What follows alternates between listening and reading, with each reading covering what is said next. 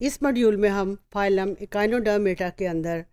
एक another important system को discuss करेंगे that is known as reproduction और जो हमारे पास रिप्रेजेंटेटिव एनिमल है that is the sea star और the starfish starfish जो हैं डायोशिस हैं. डायोशिस का मतलब है मेल और फीमेल स्पीशीज़ जो हैं दे विल बी सेपरेट लेकिन इनको हम, इन डिस्क और इन स्पीशीज़ को हम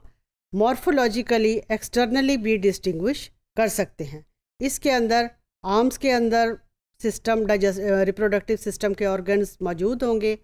अब चूँकि इसके अंदर फाइव आर्म्स हैं तो हर आर्म के अंदर टू गोनेड्स जो हैं वो मौजूद होंगे। और normally this gonads as the animal grows तो ये गोनेड्स जो हैं पूरे आर्म्स के स्पेस जो है उसको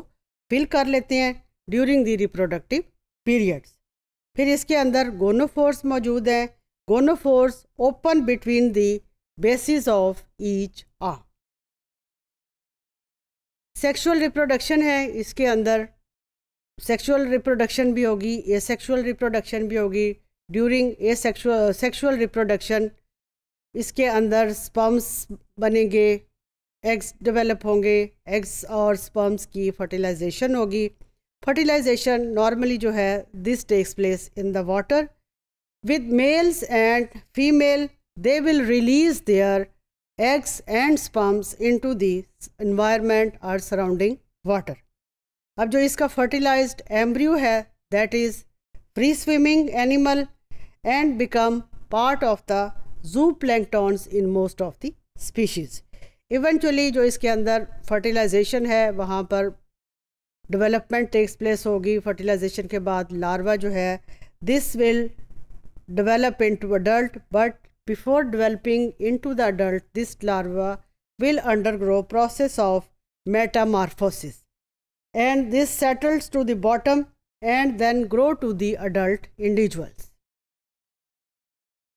अब जो है काइनोडर्म्स इनकी एम्ब्रियोलॉजी जो है that has been studied extensively कि मुख्तलिफ़ जोलॉजिस्ट टेक्सोनोमिस्ट या साइंटिस्ट ने इनके ऊपर काफ़ी ज़्यादा रिसर्च की है और इनको as a model animal research में यूज़ किया है बिकॉज़ इनके अंदर ये एबिलिटी है ease of inducing spawning and maintaining embryos in the laboratory अब एक्सटर्नल फर्टिलाइजेशन इसमें अंदर क्वाइट अंडरस्टूड है because it is taking place outside the body of the animal अब इसमें अंदर एक्सटर्नल फर्टिलाइजेशन होगी gametes are released into the surrounding water अब ये गैमीट्स जो हैं, ज़्यादा देर तक सर्वाइव नहीं कर सकते और इसमें स्पानिंग जो है that can be coordinated if fertilisation is to be taken place this is the reproduction in sea stars here you can say this is the mouth these are the arms pyloric stomach pyloric caeca these are the gonads As the species are dioecious, male and female, we can recognize them externally. The gonads, they during their, their reproductive season, the gonads they develop a large and mostly they are they are assuming most of the part of the stomach as they produce their eggs and sperms during their reproductive season. So reproduction in starfish it's very easy and simple